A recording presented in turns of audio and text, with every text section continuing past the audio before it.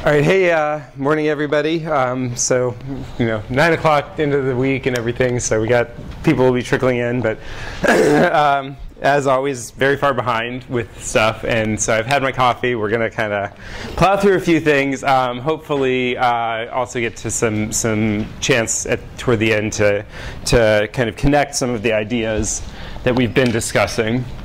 Um, the, the topic for today is um, general motivated behavior and then particularly um, reproductive mating behavior. Um, that second topic is the stuff that you did all your recent blog posts about. And then there'll be a couple announcements. Uh, reports are actually, I guess, past due by now. Um, although a couple people have had uh, have been sort of recovering from this cold, colds and flus and all other kinds of craziness. And uh, so a little. Uh, uh, so for if you've spoken to me, then that's that's fine. Um, uh, the, so here's where we've been and sort of where we're going, where we are today. Um, Sunday, 7 p.m. is the review session. I think on some of the earlier PowerPoints I had said 9 p.m. Um, uh, it's, it's, 7 o'clock is going to be our question and answer session for the final exam. Um, and then the final exam itself is Tuesday um, at 8.30. Um, uh, think about relationships between um, all four of the different units. think about the neural circuits, the ones that I've drawn up on the board today, the ones that I've drawn up on the board in the past, uh, uh, and require the today. I've tried to. we're going to draw up on the board today all of the um, uh, the ones that are sort of from this unit that I that I that I um, expect that you'll have available. Um, and then at the end of class, I'm going to make sure that I get like close-up visions of each of them on the camera, so you can refer back to those. See that Haley's not here yet, but uh, I had oh, had an answer to her question, um, so uh, she can catch up with that at the beginning of the video about whether um, cerebellar, uh, uh the cerebellar system used uh, endocannabinoids. Um, and actually, this is um, I think useful to, to, return to as an idea because um, this came up a few times throughout the semester um, in the context of first in the context of feed-forward inhibition, that a lot of the feed-forward inhibitory cells express this um, gene parvalbumin, which is often used as a genetic tool for, for example, expressing channel rhodopsin or green fluorescent protein in them, and that would be whether you want to manipulate their activity with channel rhodopsin or just find them, see where they project with green fluorescent protein, or maybe um, find them so you can record from them and uh, use it as a tool to help you collect data about those neurons and how they respond to various other inputs. Um, I mentioned last time that cannabinoid receptors uh, are sometimes involved in long-term depression as well as the short-term suppression of, um, of uh, inhibition that we've talked about. It turns out that in addition to that, cannabinoid receptors are sometimes found on presynaptic terminals of glutamate-releasing neurons. Um, and as a result of being found on presynaptic glutamate releasing neurons, sometimes you can get, um, uh, when cannabinoids are released, you can get suppression of excitation as well. Um, that particular point is not something that's going to be, uh, that you're going to come across on the final, um, but it just sort of illustrates, again, the idea that, um, that uh, biology sort of finds a solution and uses it over and over again in a variety of different contexts. Um, so uh, in terms of what we're going to be doing today, um, oh, actually, one other thing I want to mention. I did so. So long-term depression, even though cannabinoid receptors are present in the cerebellum, the long-term depression depends on metabotropic glutamate receptors, but not cannabinoids. Um, and so again, those of you that have taken cellular neuroscience, um, uh, you can uh, sort of re refer back to that, or I'm happy to talk about some of the details of that as well. In terms of the plan for today, um, I want to uh, get most of the way through kind of um, this idea of visually guided eye movements. Um, we're going to return to the brainstem circuitry of that at the very end of class. The reason being um, that was the activity that you all did at the end of class last time. And um, and there was um, uh, uh, a few common answers that I got that were um, uh, uh, um, based on the information that you had would have been uh, totally correct. But I want to sort of um, point out kind of a more general approach to those sorts of problems um, because uh, it's, uh, it's quite likely that on the final exam I will either tell you about some new pattern of connectivity, um, either uh, uh more detail to a circuit that we've already studied um, or, um, or a different circuit that we haven't studied, um, and ask you to sort of work through what's going on with it. Or um, give you some sort of behavior or, um, or goal. So, you know, we want to create a circuit that's going to accomplish X, and then ask you to come up with a particular circuit that's going to do that. Um, and so, since people are sort of trickling in in the morning, I don't want to do that uh, at the very beginning. I want to save that toward the end. Um, but then after we finish with that, we're going to move on to talk about the emotion, emotion centers in the limbic system, a brief kind of recap of the basal ganglia in motivated behavior. Um, a version of the diagram that we've seen a couple of times is already over there up on the left side of the board. Um, and then uh, a parallel system um, that involves the limbic system and emotions um, that has very similar connectivity to the basal ganglia system um, that uh, that um, is involved in um, in motivate uh, in in, uh, in reward and connects in with a lot of the same structures um, and is actually it, sometimes the lines are a little fuzzy between the, the, the sort of dorsal basal ganglia, which is what this is, and the ventral basal ganglia slash nucleus accumbens structures um, that we'll talk about at, at in uh, bullet point number four. Um, and then the second to last thing um, is talking about um, reproductive behavior and pair bonding, the research articles that you already discussed um, in your blog groups, um, and then also a little bit of other research that relates that into humans. Um, and in fact, also connects human reproductive behavior with reward systems and basal ganglia. Um, and then the last thing will be returning to this um, uh, eye movements um, circuitry um, to, to sort of as an illustration of a new kind of circuit or sort of modification to a circuit that I showed you, where I say, okay, now we're going to modify this circuit or take advantage of some of this connectivity to create a new um, a new uh, output or create a new where we have uh, create a different input. So, so last time we had um, vestibular input driving eye movements, and then I asked you to think about well, how would conscious motor input drive drive eye movements. Um, and then, uh, and then um, for for the um, um for the uh, so so we're sort of going to um, discuss a little bit about that uh, at the very end today. Any questions about kind of overall plan stuff, anything like that?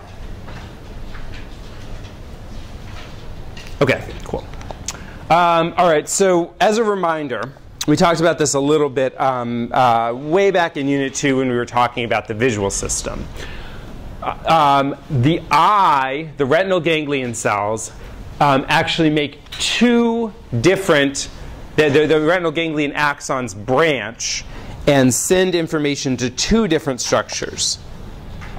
The structure that we focused the most on was the lateral geniculate nucleus of the thalamus um, and its connection up with um, and its connection up with primary visual cortex. Um, and then from primary visual cortex, you have mostly cortical to cortical projections through the ventral stream, which is involved in object identification. Um, uh, interestingly, um, like we mentioned a couple of times, the, the, most of the temporal lobe, with the exception of primary auditory cortex, but not even secondary auditory cortex, seems to get um, very little or no input from the thalamus, which is different from the rest of the, the entire rest of the cortex. Um, there are also cortical to cortical connections, in, um, in particular to area MT, which we talked about before, which is a higher order visual system that is involved in um, identifying location and especially for MT motion of objects. Um, and then Meanwhile, some connections are not drawn here. Um, there are V1 to pulvinar connections as well. That's what this PU stands for. Um, and then pulvinar connects up as well with MT.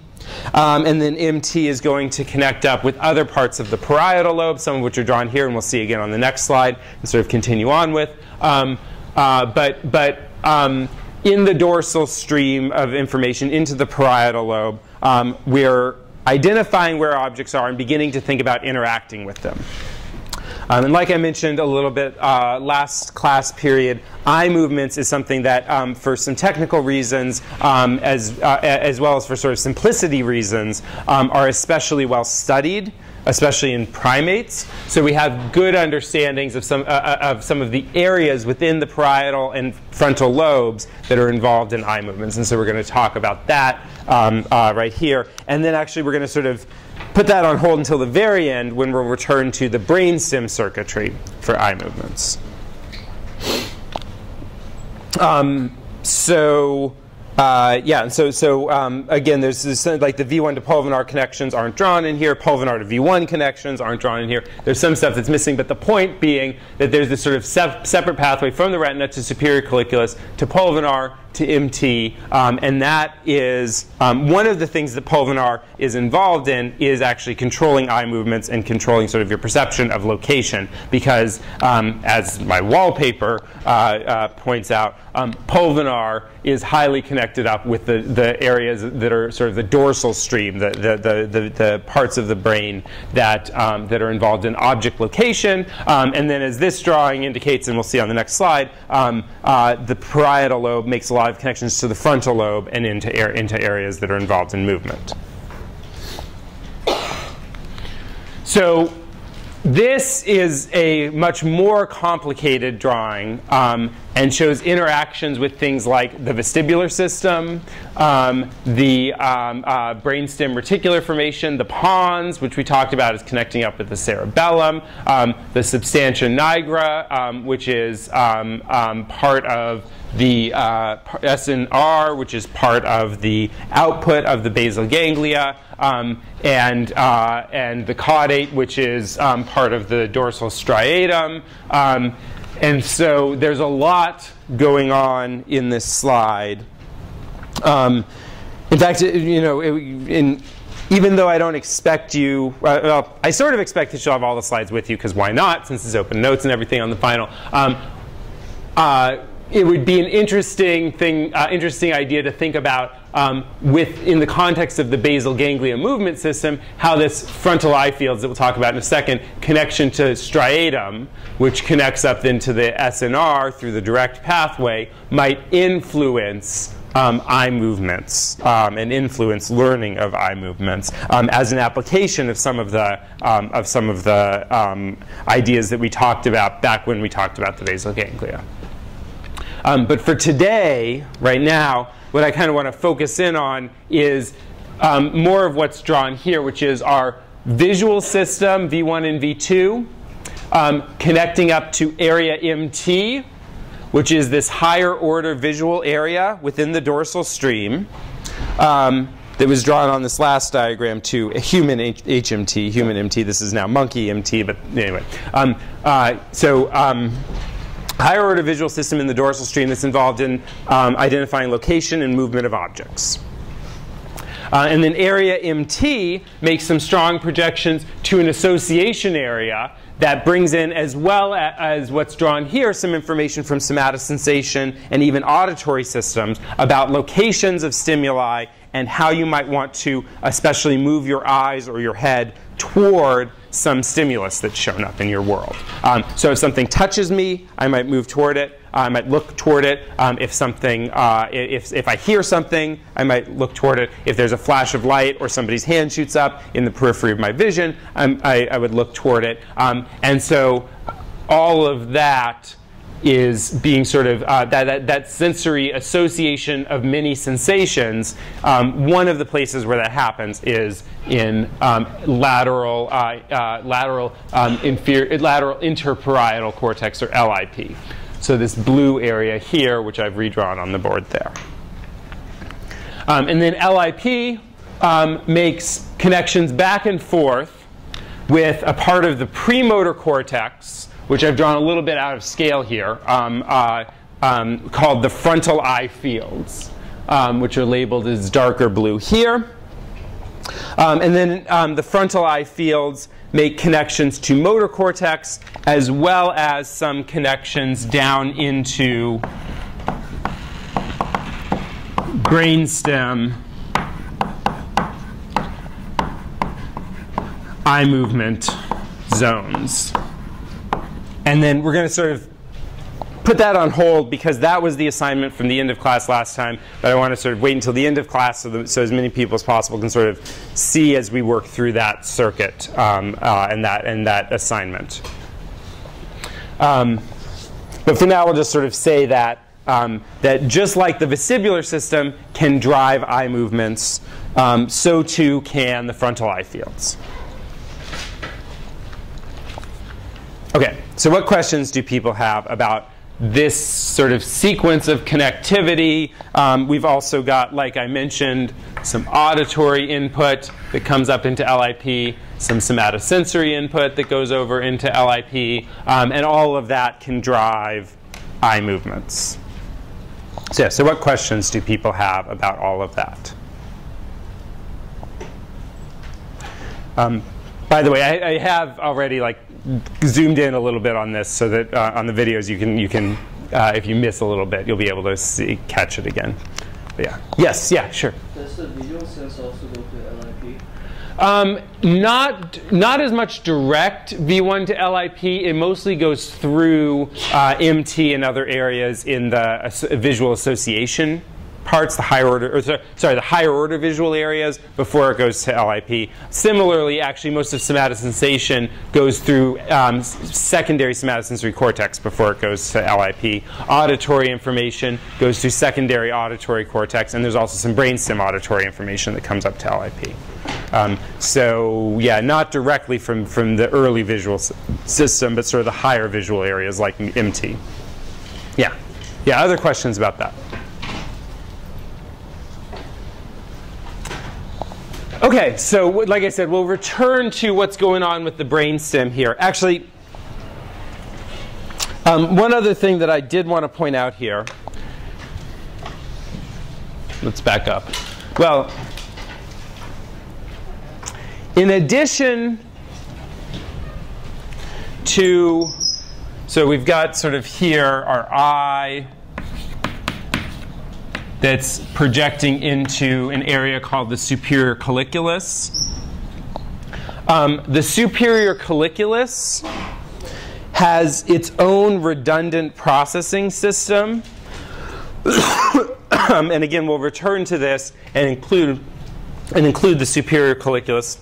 This is not a connection out, that's just part of my border for occipital lobe. Um, the superior colliculus has its own connections into the brainstem eye movement. So even with your cortex completely gone and completely destroyed, um, you can still make reflexive eye movements toward moving stimuli. And that's accomplished by the superior colliculus. Um, and in fact, these systems are entirely or almost entirely redundant with each other. Um, animals or humans who have had their superior colliculus damaged or destroyed can still make eye movements because of this cortical system through the frontal eye fields. Similarly, animals or humans who have had their frontal eye fields damaged can still make movements um, almost exactly as well as, as a normal person um, because of the superior colliculus system. So these are pretty redundant systems. Um, if you lose both of them, then your ability to make consciously controlled eye movements is, is, is uh, basically lost, although the vestibular control um, that we talked about last time would still be preserved in that case. Um, so these are actually, they're sort of two redundant systems. Um, the details of the connectivity within the superior colliculus we're not going to go into, um, but it's sort of interesting that, um, that at least for eye movements, um, there's, some, there's some redundancy. In fact, head movements also, and it's unclear, uh, there, we haven't found like for other types of, well, yeah, there, there's some debate about um, for other kinds of movements. Um, in fact, there's some experiments people have done where they have completely destroyed primary motor cortex in animals and found that most of their ability to move around is actually surprisingly unimpaired.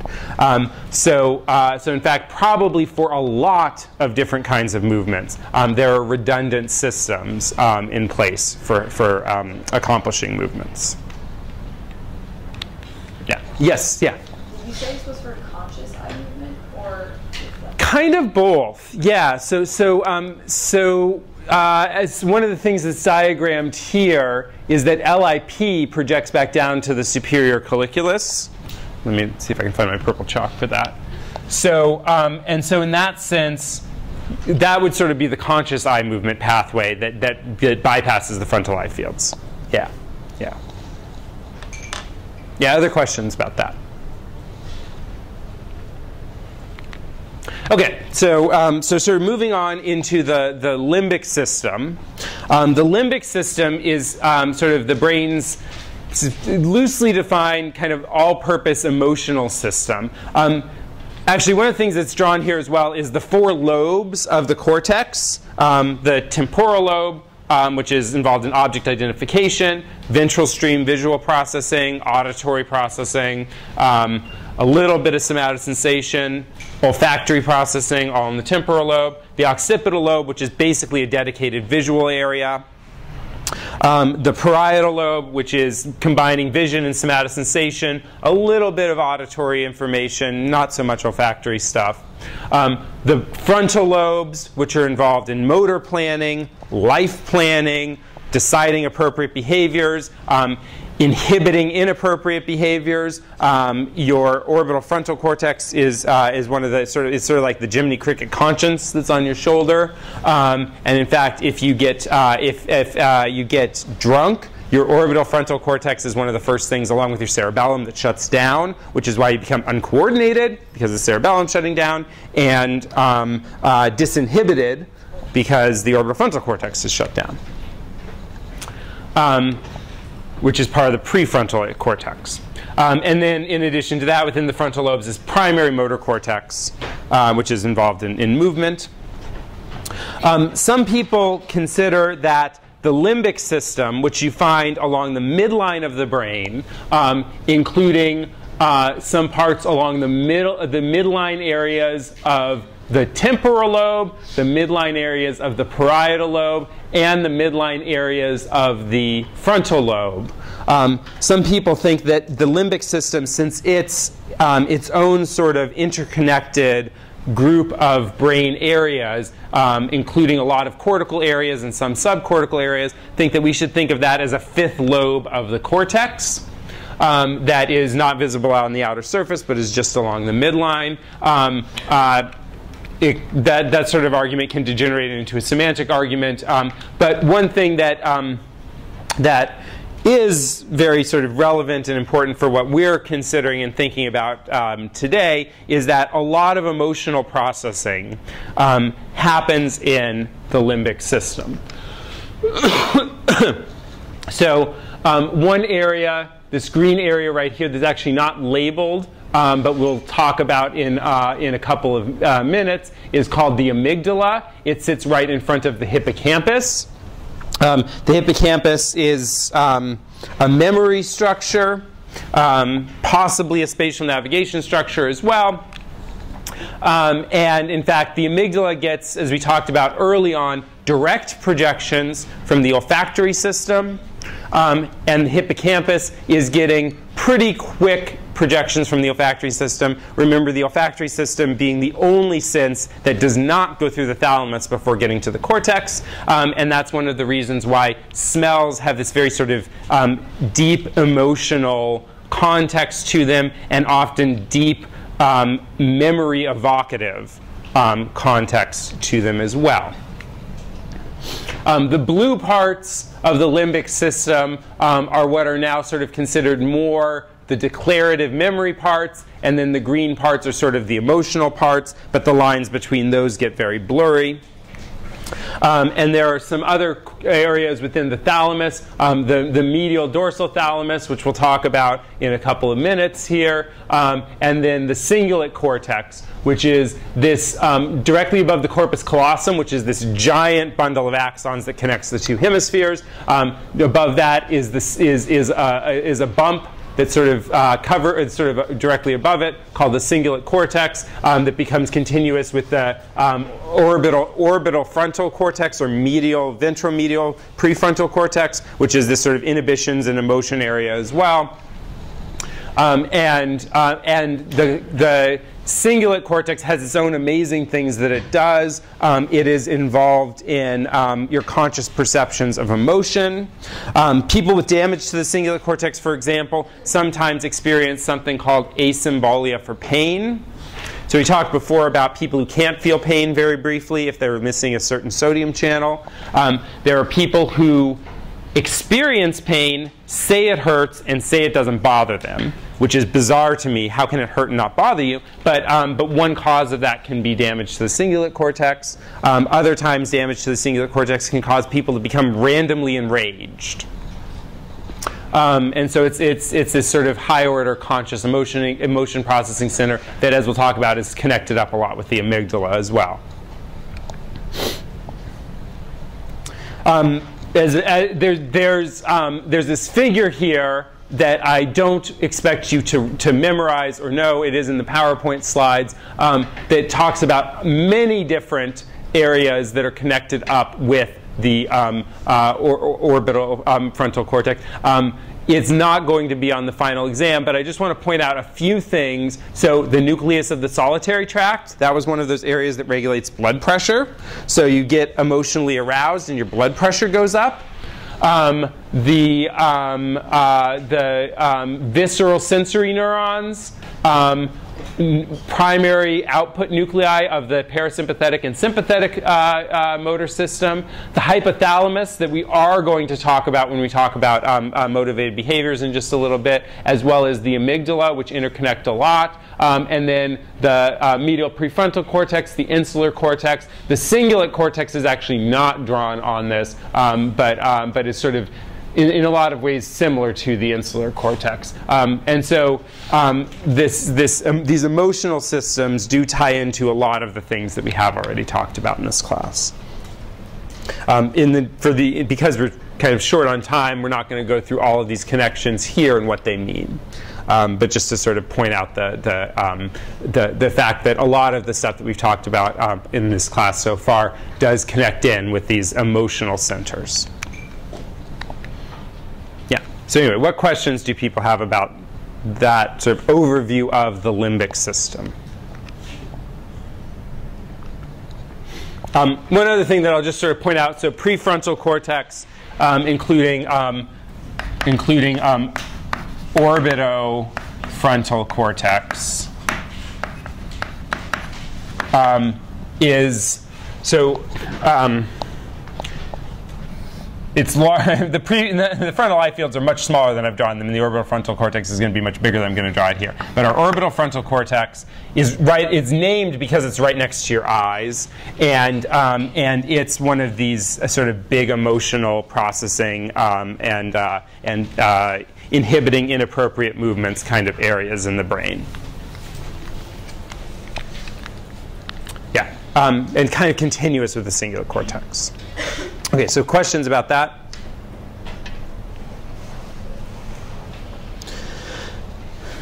Okay, so, so drawn over here is uh, slightly elaborated, but basically the same thing that we've already seen before, um, which is the basal ganglia motor system um, and all of the different connections within it. So, what I called before the striatum which um, depending on who you talk to, um, if they if they want to call the, another area the ventral striatum that we'll talk about in a minute, then um, there are some people who prefer to specify the dorsal striatum. But the area um, uh, that's sort of involved in this direct and indirect pathway projection, um, this diagram here, actually I forgot to include um, my dopamine releasing neurons, substantia nigra pars compacta releases dopamine. Um, actually, and as a reminder, glutamate is excitatory, GABA is inhibitory.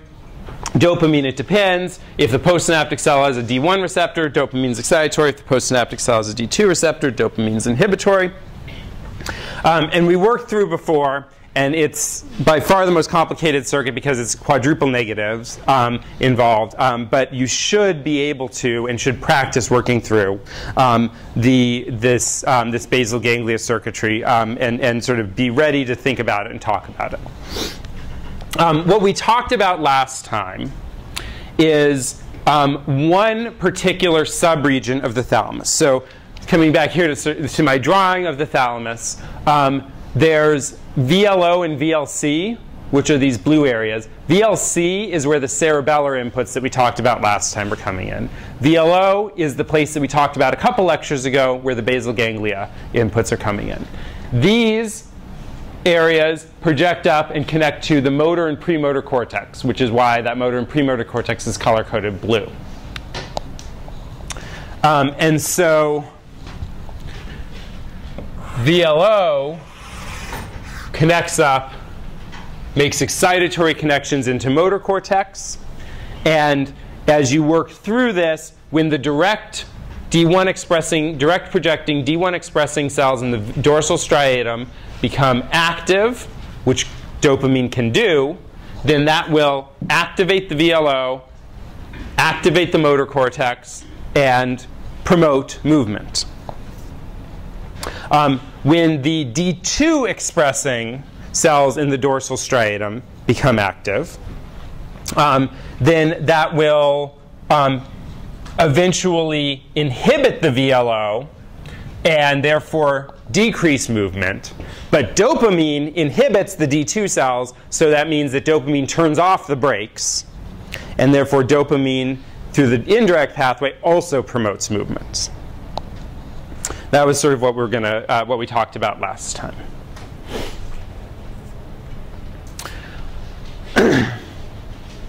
um, what I wanted to um, actually, I guess before I, before I go into that, uh, let me let me back up. What, what questions do people have about a couple class periods ago this circuit so far?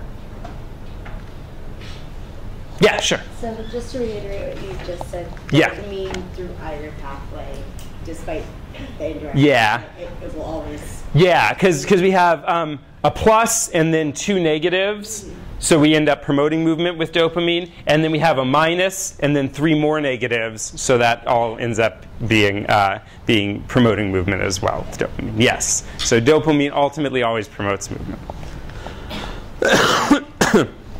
Um, there's more complexity, and depending on how I'm feeling, I might sort of ask you to. to uh, one of the things that, that, you should expect on the final exam is is uh, some new information to be presented to you, where you'll have to sort of um, think about, okay, well, if we sort of have new ideas or some new, uh, you know, maybe um, uh, when I think one of the practice final exam questions said maybe the GPI and SNR have different functions, and actually that that's not that's kind of true and kind of not. The way that I describe their different functions on the practice final is not, in fact, the way their different functions work, um, but it is sort of saying, okay, we've got this idea about these different functions. How does that? How might that influence the way we think about this circuit? And so you should expect things like that. Um, so here, let me actually draw this sort of in here. So we have inhibition into the VLO. That was what we talked about before. New information for today um, is um, sort of over there on the right. The dorsal striatum is huge. And um, uh, which again, the dorsal striatum is the same thing I call the striatum. There's a section toward the end of the final exam review notes that's like annoying terminology, and the, and the fact that the dorsal striatum is the same is sometimes just called the striatum is among the list of annoying terminologies. Um, anyway, and actually only some of the connections are even shown here. Just the direct pathway connections are even shown there. Um, but in any case, uh, and actually, GPI plus SNR is sometimes called the dorsal pallidum. I never use that term, but the book does. So, you know, you gotta, if you're reading the book, then you're going to have to uh, uh, work with that. Um, okay, so in addition to the, the, the motor connections that we talked about before, there are connections up from the, the striatal pathways into multiple other nuclei within the thalamus. Um, this ventral anterior or VA nucleus um, is going to project into the prefrontal cortex, um, which is illustrated by its he's present here, although they made the prefrontal cortex green because um, uh, because also the uh, MD projects into the prefrontal cortex as well. Um, so VA and MD actually sort of both project into the uh, prefrontal cortex. Um, in addition to that, there's this little nucleus inside the striatum uh, called the uh, internal nucleus, or IN, that's also getting projections from, um, from a variety of inputs, including the internal globus pallidus, the GPI. And then this internal nucleus here projects out into widespread areas in the parietal, occipital, and temporal cortex. And the meanings and uses of all of this is very poorly understood. Um, but um, one of the things that, um, that as we talk about motivation and this parallel pathway involving the ventral striatum, also known as the nucleus accumbens, the ventral pallidum, and its connections into thalamus, is that there's not really a clean distinction between the motor system that we talked about last time and the emotional motivational systems that we talked about, that we're going to be talking about today. Um, and that is in you know, makes for a lot of complexity, um, but in some ways also makes sense in that um, uh, in that movement and motivation are very closely tied together. Um, and in fact, some people even argue whether there is a clear boundary between the dorsal and ventral striatum at all um, in these two parallel pathways that we're going to be talking about.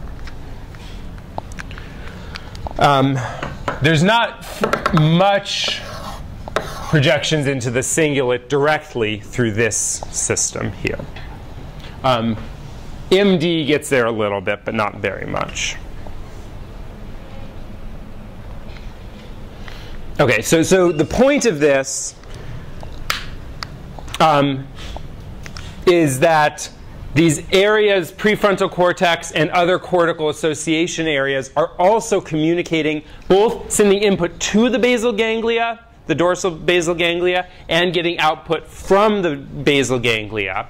The meaning of all of which is, um, is very much an active area of research, but the point being that motivation, sensory perception, um, and, uh, and um, are all sort of tied together with this mo these movement structures, uh, or these sort of structures that we, that we traditionally think of as movement areas. That's sort of the bottom line of all of that.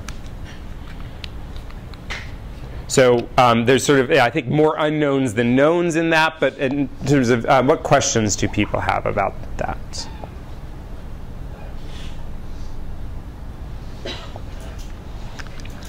Okay, so um,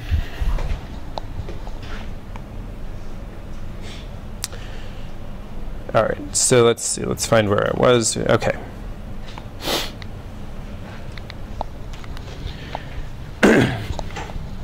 so here, let's actually.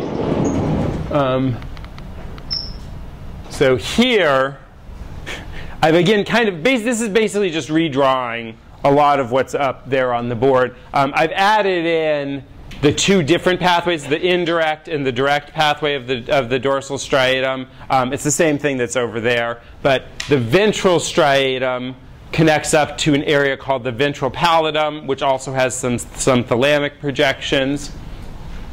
Um, and um, just like the substantia nigra pars compacta provides dopamine input to the dorsal striatum, the, the, there's another area right next to the ventral tegmental area, or sorry, right next to the substantia nigra called the ventral tegmental area that provides dopamine input to the ventral striatum. Um, and that's sort of already on this diagram that I was showing a second ago.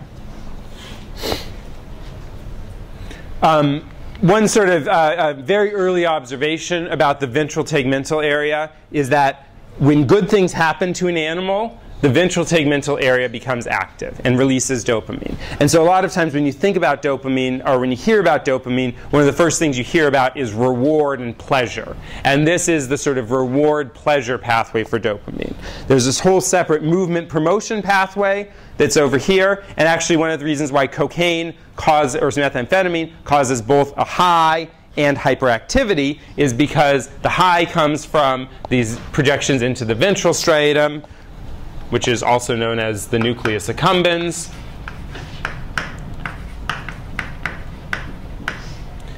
And the um, substantia nigra provides dopamine to the dorsal striatum, which promotes movement. Um, and since cocaine doesn't distinguish between those and increases dopamine at both, you get both a high for the ventral striatum nucleus accumbens thing, and also movement promotion for the dorsal striatum pathway, hyperactivity. Um, and in fact, many, many drugs of abuse, um, uh, in one way or another, enhance either directly or indirectly the amount of dopamine coming from the ventral tegmental area to the nucleus accumbens, which is the same thing as the ventral striatum. um, uh, some, some of them are inhibitory and they, they inhibit the, they, they decrease inhibition in the ventral striatum, or sorry, in the ventral tegmental area, um, which then causes more dopamine release. Um, one thing that I don't love about this diagram is it looks like the axon sort of goes only halfway. Um, in fact, the axon from the VTA goes all the way into the ventral striatum um, and is miles long on this, on this sort of cellular scale here. Um, but in, in, any case, um, the ventral striatum uh, is sort of our, our reward pleasure pathway. Okay, so questions about that before we sort of get into a little bit more, a little bit more complexity about the ventral striatum. Yeah, sure. Does the GABA block dopamine? The GABA, yeah, what the GABA neuron there does is it's going to inhibit the, this neuron that's releasing dopamine, and then opiates will inhibit the GABA neuron, so then you have less inhibition and therefore more dopamine release. Yeah.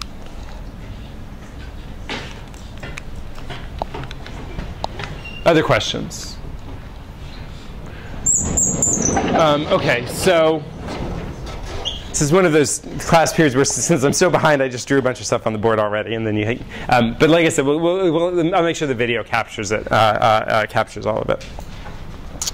Um, so a little bit simpler, but very very analogous to what we have over there for the dorsal striatum, mostly motor and motivationally guided motor pathway up there. Um, this is our ventral striatum, um, aka nucleus accumbens pathway.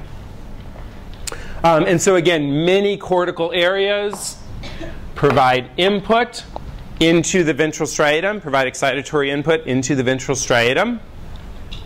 Um, it gets dopamine signals from the ventral tegmental area makes inhibitory projections into the ventral pallidum, which is sort of like the GPI in this um, in, uh, uh, session here. Um, and then that makes inhibitory projections onto a variety of thalamic nuclei. Um, you'll notice that a lot of the same thalamic nuclei that were up there are also getting there's some, there's, there's some finer structure within the thalamic nuclei of some cells getting input from the ventral um, system and some cells getting input from the dorsal movement system. But on sort of a coarse level, areas VA, MD, and IN are getting inputs um, from both um, pathways. And so again, areas VA and MD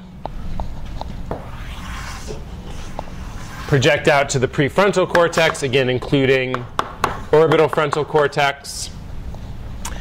Area IN makes these widespread projections. Even though the area is pretty small, it makes some widespread projections throughout a lot of the uh, cortex. Um, and then, uh, and so uh, actually the one that's highlighted here is um, what's coming from um, mostly area uh, VA into the orbital frontal cortex is what's highlighted um, uh, in this um, uh, in this diagram here. Um, uh, area VA and MD into the orbital frontal cortex um, is what's highlighted in this diagram on the right. But in fact, there's a lot of widespread cortical projections from this. Actually, to com complicate things further, and I'm not going to draw this up here, um, but the VTA also projects directly and makes dopamine projections into the frontal cortex as well. Um, but that's something that if you took neurobiology of disease with me before, that, that might ring a bell. Um, for this class, we're going to just ignore that because there's enough to keep track of already. Um, yeah, so sort of one more quick thing. Um, very little input into primary motor cortex from this pathway. But then we have this area LD, which projects into the cingulate cortex. Um, and, um, and, that's, um, and that's illustrated as well in this picture, area LD projecting into the cingulate cortex.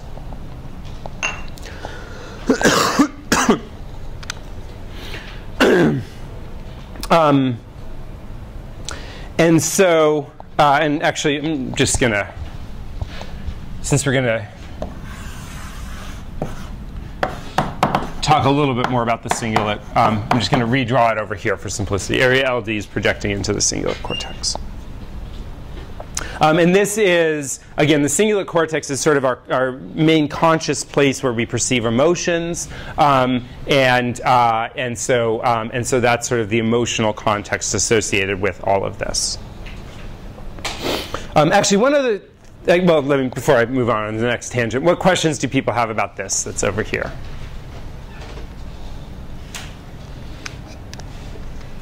I know I'm sort of throwing a lot of circuitry at you right now. Um, all of these different thalamic nuclei, um, I'm not going to expect you to have them super well organized on the final exam. Um, and, you know, it's worth sort of having track of things and everything. Um, but um, the, the big picture, again, that we're trying to get at here is that um, especially for this system, actually this projection through area LD is really sort of the, the one that makes it unique from that projection that goes through VLO. So that one goes through VLO and has its motor component. This one goes through area LD and so has this more emotional component to the cingulate cortex. Um, and then both of them have overlapping inputs onto area, re the rest of the cortex. Um, so, um, but I guess if you're going to sort of focus in on one thing for this system, um, it would be these projections to area LD and the, um, and the sort of emotional context associated with that. Yeah. So anyway, questions about that? Yeah, sure. Um, are both systems equally as likely to fire? Or? I mean, it depends what's going on. Um, so, uh, so when you're um, when you're thinking about um, sort of movements and thinking, and also um, like uh, uh, you know how, uh, how to sort of um, uh, do better at something and sort of have, have a sort of um, uh, uh, sort of active planning and things like that is going to involve more this dorsal system. Um, when you're sort of in a more reflective, like uh, you know, thinking about what's gone on in the past and um, and uh, and sort of um, internal processing kind of stage is more likely to involve this. Um, like I said, the boundaries between them physically and functionally are very, um, are very uh, uh, ill-defined, and some people wonder whether there really is even a, a clear boundary between them. Yeah. Other questions about that? Um, so the book describes a little bit about um, uh, so the the um, the two pathways here, um, and um, the point of this is just to sort of illustrate the, the rewarding aspects associated with the ventral striatum, the pleasure aspects associated with the ventral striatum that's not really there in the dorsal striatum. So the experiment is that we have an animal and there's um, inserted into its brain is a little tube that can squirt dopamine out or squirt saline out. Uh, actually, squirt out cocaine, which enhances dopamine signaling, or squirt out saline. Um, and um, uh, and so Um, and then that two, that, that tube, there's one tube for dopamine, one tube for saline, um, that is either inserted into the dorsal striatum or the ventral striatum. So um, uh, in the left two bar panels, we've inserted the drug into the um, dorsal, into the ventral striatum. In the right two, um, we've inserted it into the dorsal striatum. And we're looking at um, how much time they're spending in these two chambers. And so when we deliver cocaine in, in the left chamber, then um, to the ventral striatum, then the animal starts to like being in this chamber and spends a higher fraction of its time over in the area where it's getting cocaine and less of the time over in the area where we're just squirting salt solution into its ventral striatum. Um, for the dorsal striatum, there's less of an effect going on, um, not a significant effect. Um, so the animals getting cocaine into their dorsal striatum, what's not plotted here, will become hyperactive, um, but not necessarily develop a preference for one area versus the other. They might move more in this left chamber, but they're not going to develop a preference for it. yeah, questions about that?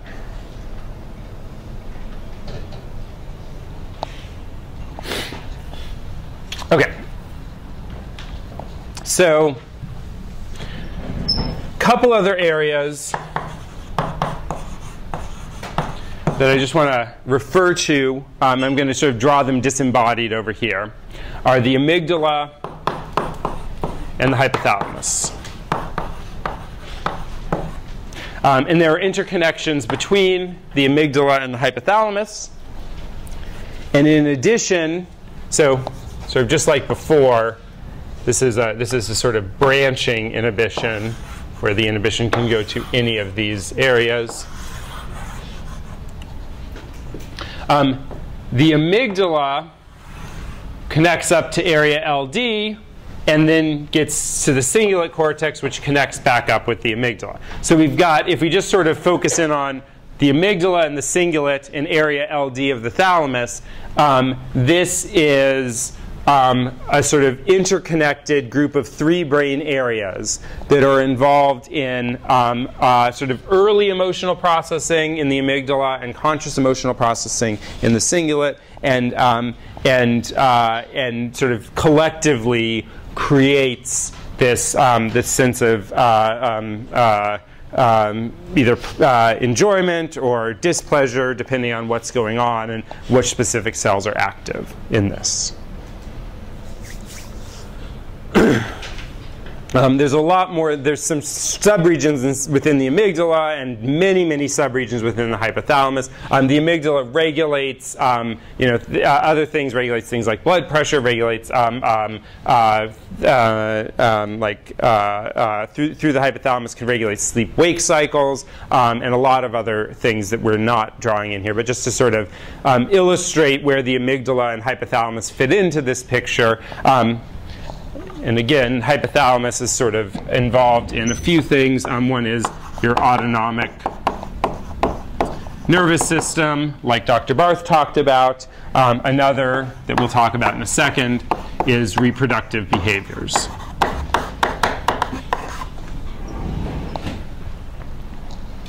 Yeah, questions about that?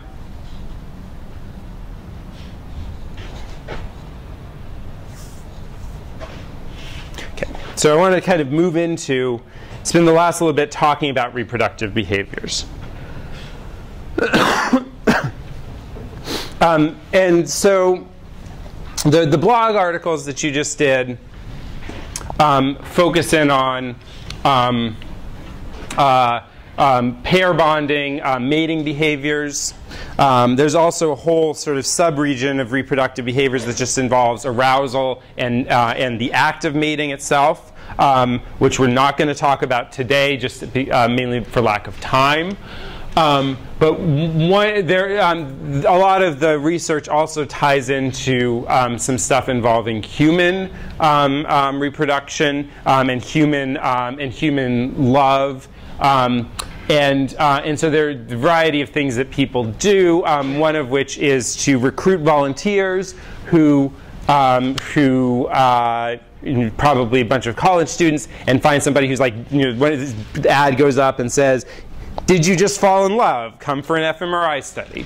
Um, and so, um, and so, what they do then is they show these people either a photograph of the person that they that they say that they're just sort of falling in love with, or a photograph of a friend, and see which brain areas uh, activate differentially. Um, and one brain area, uh, a couple brain areas that active that become active when they see the photo, when the people see the photograph of the person that they've just fallen in love with, are the ventral tegmental area and ventral striatum, or nucleus accumbens, um, showing that this sort of is a, a reward-centered pathway um, and activates a lot of the same reward systems that the, um, that uh, other uh, other things like um, like shopping or whatever um, uh, gambling can activate. Um, another study that was done is did you just get dumped? Come for an fMRI scanner. Um, uh, oops, I skipped ahead. That's this one. Did you just get dumped? Come for an fMRI scanner. And what they find there, we're not going to sort of worry about the specific areas that are in, activated here, um, but looking at the brain regions that are active, it exactly matches. So again, showing them a picture of the person who just dumped them versus a picture who uh, of, of, a friend. Um, exactly the same brain areas that you see present and active in cigarette smokers when they're craving a smoke or drug addicts when they're craving a hit of whatever drug that they're addicted to. Um, and so, um, and so withdrawal symptoms and uh, so, so again, sort of pleasure drug-related systems are all sort of present in the um, uh, in the um, uh, uh, in, involved in, in, in, human human love and human interaction. Um, one other thing that happens actually is the amygdala and some parts of the prefrontal cortex actually become underactive. Um, back in this experiment where you see the person that you, that you fall in love with, the amygdala and prefrontal cortex become underactive. Um, and so the amygdala is sort of one of these areas that's sort of involved in like fear, um, and and sort of uh, uh, caution in certain situations. Prefrontal cortex, like I said, sort of the, the Jiminy Cricket, the the inhibitions, um, and this may explain, for example, why people who are in love um, uh, end up not noticing something that others might consider very obvious as a red flag about the relationship, for example. Because there's sort of um, uh, higher uh, sort of awareness of what should I be worried about, um, what sort of things should uh, should I be um, uh, uh, concerned with and, and, and, inhibit my behavior and so on um, actually becomes underactive in this in this experiment here. Any questions about those three experiments?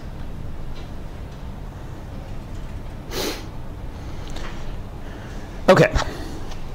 Um, so the research articles that you talked about, I'm going to go relatively quickly through this because you just spent a while with the blogs on them. Um, summaries of them, the manipulations and so on, are, are posted on the um, on the topics guide. Um, and I do want to get to back to this um, this thing from the end of class last time about eye movement circuitry. Um, so. uh, one of these was looking at monogamous versus polygamous species of vole. Um, so we have prairie voles, which tend to be monogamous, and meadow voles or, mo or montane voles that tend to be polygamous. And just at a behavioral level, what we find is that um, when you have um, a male and female that have, that have mated together, um, the prairie voles tend to spend a lot of time to, uh, snuggling together. The meadow voles kind of don't care so much about spending time with their, with their partner um, or with their mate. Uh, and looking in at their brains, we find that there is a much higher density of vasopressin receptors um, in the um, in the montane vole, or sorry, in the prairie vole as compared to the montane vole. And so, in fact, the hypothalamus releases vasopressin, and um, and that's involved in reproductive bonding. Um, one other thing that the hypothalamus also, also um, releases is something called um, oxytocin, which um, also at least in the voles, more so in females than the males, seems to be involved in reproductive behavior. So this is the male brains. Um, the female brains, the oxytocin seems to be more involved. Um, uh, that whether that's really true for, for humans is, I think, probably unlikely because humans are much more complex and uh, and don't have these sort of distinct evolutionary. They're not different species the way these are, um, and so. Um, the, the, I, I, do think, and there is evidence that vasopressin and oxytocin are connected to pair bonding, but a lot of the evidence indicates that um, it's actually sort of both um, both neurohormones um, are are involved in um, in pair bonding in both males and females in humans. And, and that's actually still also something that's a little bit up for debate. um, so one other thing that they did in this study is to um, uh, put more vasopressin receptors into the meadow voles, those polygamous meadow voles that don't care about their partners after they've mated, give them some extra vasopressin receptors in the males, and now the male spends a lot more time huddling together um, with his female partner than he did than, than, the, than, the, than the comparison group that don't have this extra vasopressin receptor. So not only does it correlate with the behaviors, but we can actually manipulate vasopressin receptors um, in this polygamous species and get more um, mon monogamous-like behavior out of them. Any questions about that? Yeah, sure. So the vasopressin receptors are put into the hypothalamus? Into the hypothalamus, yeah. Yeah, so actually the hypothalamus both releases and receives Oh. the vasopressin. Yeah. Yeah. Other questions? Okay, so this uh, second paper that was one of the um, blog papers is asking about, um, uh, or maybe I can't remember. This might, there, there was one. There, there's one here today that we're going to talk about that wasn't one of the blog papers, but um, but one of the other ones asks about. So where in the brain is vasopressin acting? One place is the hypothalamus, and that's what we saw in the last article, uh, in the last yeah, in the last research article. Um, now what we're doing is we're looking at the monogamous voles, but we're trying to block vasopressin signaling. Um, and they look at area MD of the thalamus. VP is the ventral pallidum. So I don't have extra colors, but I'll just draw our vasopressin as vasopressin's coming into area MD of the thalamus, vasopressin's coming into the ventral pallidum. Um, vasopressin is sort of, uh, uh, um, uh, if you put it um, uh, uh, uh, in uh, sort of in the whole animal, medial amygdala. Um, so um, and in, uh, in many of those places, um, when you infuse, um, I, I actually, sorry, I, so, so many of those places there are connections. Um, but the one thing that they found that was sort of the critical connection, um, so is uh, so if you if you put um, if you put a vasopressin blocker into the medial amygdala, even though it gets vasopressin inputs, doesn't seem to change the pre preference for partner over stranger. Same thing in medial dorsal But interestingly, in the ventral pallidum, if you block vasopressin signaling in the ventral pallidum, now at a, a low dose of an antagonist, it doesn't do much, but a high dose of an antagonist, and now all of a sudden, these males don't care about their partner anymore. Um, and so this pair bonding pathway ties into hypothalamus and sort of um, low level autonomic reproductive behavior, but also ties into um, uh, these higher level um, uh, connections involving um, uh, emotional regulation. Um, and depends on these emotional regulation areas. Questions about that?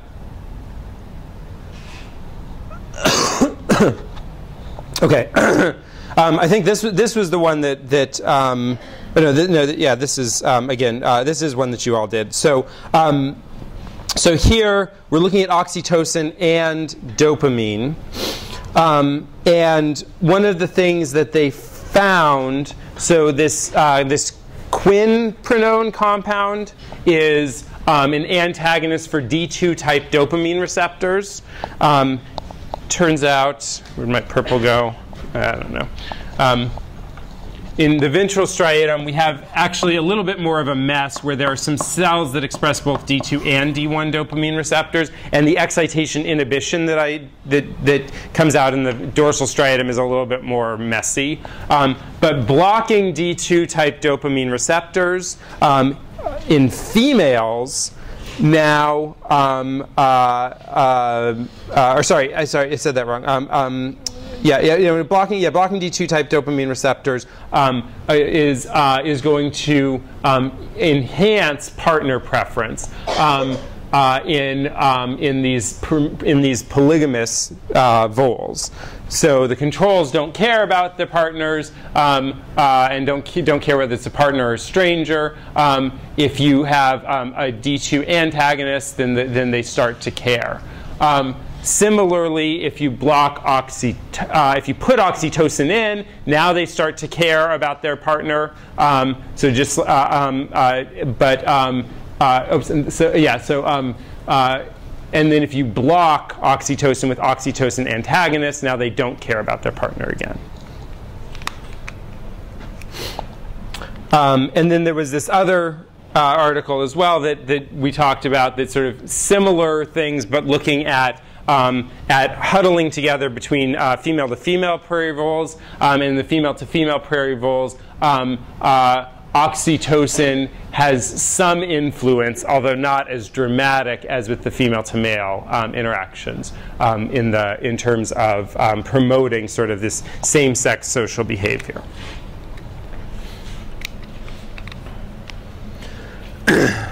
yeah, questions about those?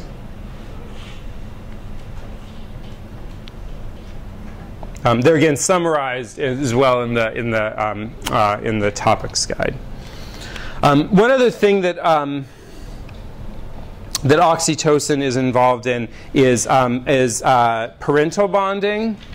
Um, in animals, many mammals um, uh, being polygamous and not having um, parental care, so there are some exceptions like the prairie voles. Uh, it's been more studied in females and female uh, parental bonding, but in humans and in other animals where there are, is paternal care for, for children, um, oxytocin is also involved in, in, in paternal love. Um, and one other interesting study um, uh, is um, uh, so, unlike backing way up here, are newly in love people, where these pleasure centers get involved in, um, in people who are newly in love. Um, this was looking at uh, women um, who, um, who are involved in long term um, monogamous relationships as opposed to being newly in love, um, and um, comparing their brain activity when they see their long term partner versus when they see their child. Um, and the sort of take home message from this um, again, we've got some similar areas um, in terms of the, the, the parietal cortex, lateral prefrontal cortex. Uh, amygdala is active again, but the, the sort of take-home message from this is that the pattern of activity, um, if, I, if I covered up which was the maternal uh, uh, and which was the romantic, it would be very hard to distinguish between them. Um, and so for long-term committed behaviors, um, the, the, the love the brain activity associated with that starts to resemble more and more um, the um, uh, um, uh, parental uh, love. Yeah. Questions about that? Okay, a um, few quick sort of housekeeping things before we move on and talk about the, the last topic involved in um, the activity from the end of class yesterday. Review Sunday night at 7, uh, Wien 4623 course evaluations, please fill those out if you haven't already. Um, I'll continue to send annoying emails out to people who haven't, um, uh, including uh, uh, calling you out for sleeping in class when you weren't really sleeping in class or whatever. Um, but, uh, but you should please fill those out um, because they are uh, um, very, very valuable to help me improve the classes that I teach. Um, and also, there, uh, there's actually going to be a different instructor for this class next year, but what's working and what's not um, is going to be very valuable information for that person as well.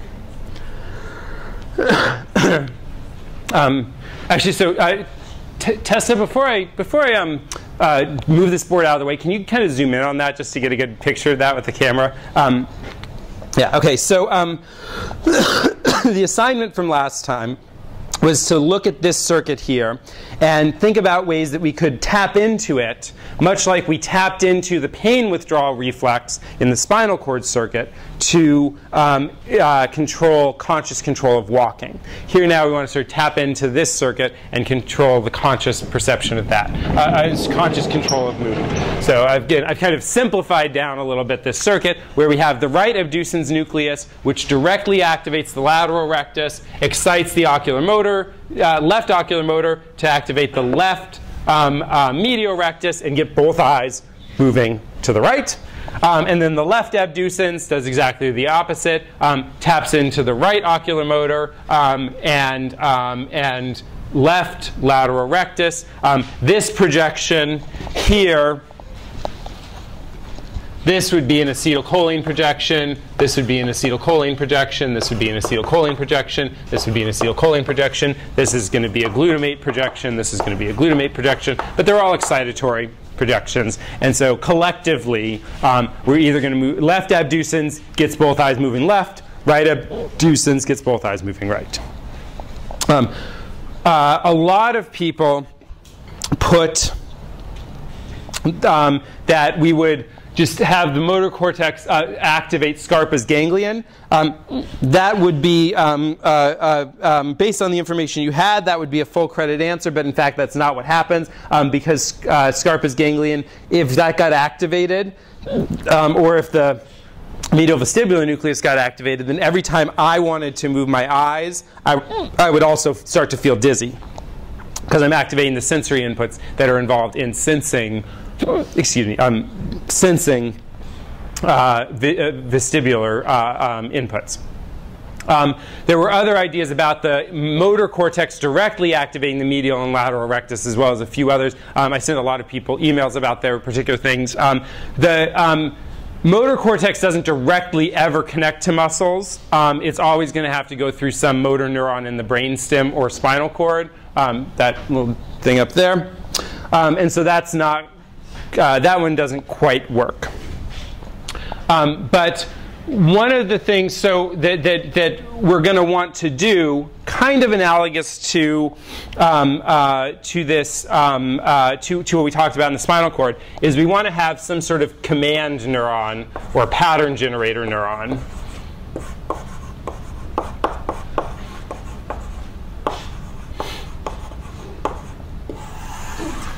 So somewhere else in the brainstem, we're going to have this area. This is going to get maybe direct or indirect projections from M1, and maybe also direct or indirect projections from the motor parts of superior colliculus, um, because again, these are redundant. So here we have our frontal eye fields projecting into M1, like I drew over there um, uh, before a couple minutes ago. Um, this is going to connect into this brainstem command neuron. Um, and then um, we want to excite, if, if we're going to want to be doing um, uh, leftward eye movements, then we're going to want to excite the left abducens and then maybe activate some inhibitory neuron here that's going to inhibit the, the right abducens.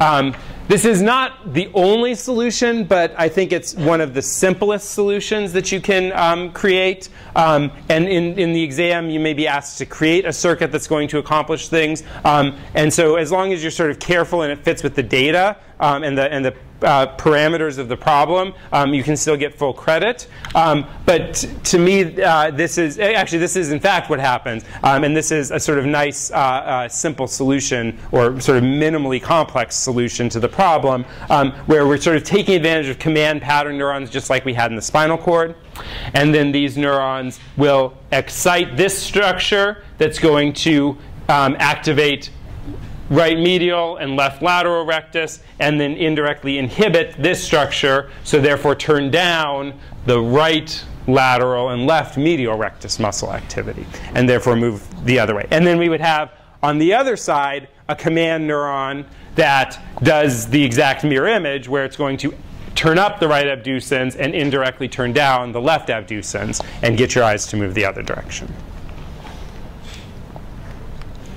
Yeah, sure. Um, so my report was on central pattern generators. Yeah. And so, um, and like the role of the ascending motor neuron input to like uh, regulate firing patterns. Do you know of any like uh, ascending inputs from the motor? So from from the motor from the spinal cord back up. It would be like from the motor being targeted. So in this case, like the eye muscles back Yeah. up to the like pre-motor areas, like where the central pattern generator is. Do you know of anything Um, here? Uh, no, not that I'm aware of, but that, that's probably just my ignorance. I imagine that similar patterns to what we see in the spinal cord, we would also see here in this case. Yeah. Um, yeah. What other questions do people have about this? Sorry, Tessa, is it zoomed in on this enough that it's, it's, Oh, I zoomed in, but then I okay? Can you zoom back? Yeah, just yeah, yeah. Okay, cool, awesome. Sorry, thanks. Other questions people have about that?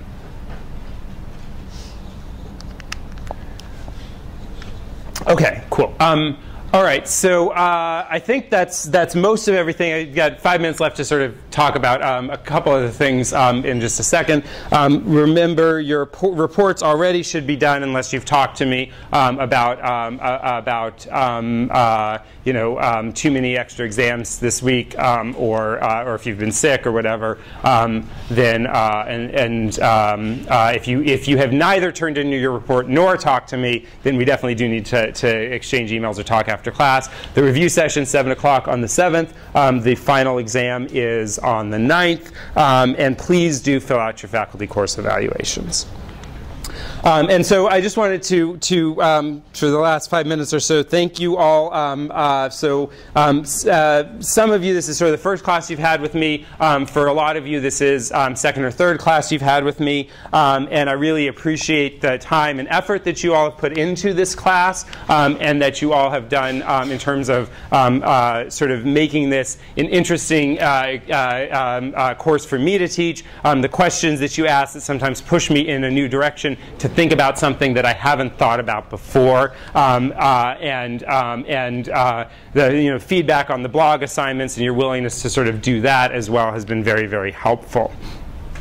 Um, I also, um, as I think I've told some of you, um, uh, I'm kind of next year going to be doing a little bit more of administrative uh, stuff and a little bit less teaching. I'm not going to be teaching some of the upper division neuroscience classes next year, so that means that even though I'm still going to be around and I hope to still get to see all of you as much as possible, um, it is likely that for most of you this is the last class that you're going to have with me, um, which is a little bit sad for me. Um, and I, but I do still hope to um, to uh, uh, whether this is your first class or third class or whatever with me, um, uh, you know, keep in touch and hear about what you do um, over the coming uh, over the coming times. Um, and so uh, since I get now four minutes to just sit on a soapbox and talk, I'm going to do that because why not? Um, and um, since and since also a lot of you are graduating or sort of thinking about what you're going to be doing with your careers, um, uh, I think everyone in this room um, at this point in their life has or will have times when you sort of question what you're doing and question whether you're on the right path. And in fact, a lot of times when you come talk to me, um, I will say, "Well, why med school? Why not go to grad school?" Um, and um, and I'm not really doing that to be annoying. Um, I'm doing that because uh, because um, I want to sort of help make sure that that, that you uh, you find the right paths for yourselves. Um, and one of the other things is that if you sort of think back, you've probably all already had times, whether it's in your personal life or your professional life or whatever, where there have been where there's been tension between where you are and where you may want to go. And in your life, you sort of build up motivation, or sorry, build up momentum as well as motivation to get to a particular goal, and then may come to a time where you think, maybe that's not really where I want to go to. Um, uh, maybe I'm maybe I'm in the wrong relationship. Maybe I'm on the wrong career path. Um, uh, maybe the inertia and and uh, and, um, and momentum that I've built up is something that I need to change. Um, and so uh, it's.